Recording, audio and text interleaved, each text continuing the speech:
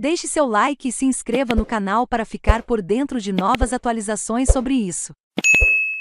Presidente do Corinthians descarta reforços e comenta renovações de jogadores mais experientes. A movimentação do Corinthians na janela de transferências tem sido alvo de muita discussão entre os torcedores alvinegros.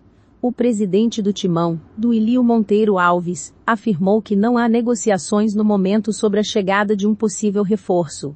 Além disso, o agente do Corinthians falou sobre a prorrogação de contratos de jogadores mais experientes.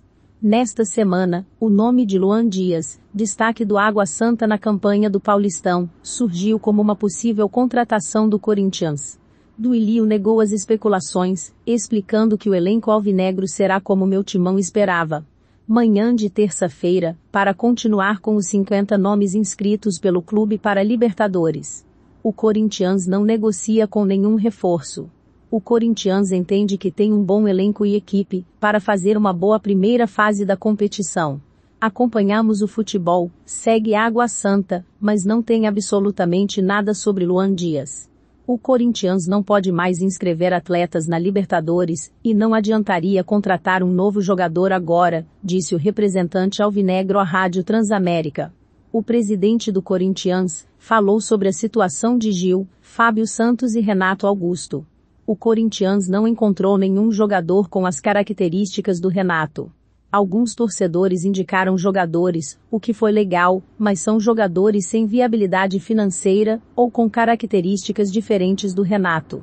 Neste ponto estamos olhando. Quando o assunto é prorrogação de contrato, tudo tem seu tempo. Conversamos, jogadores experientes que entendem que tudo leva tempo, disse Duilio.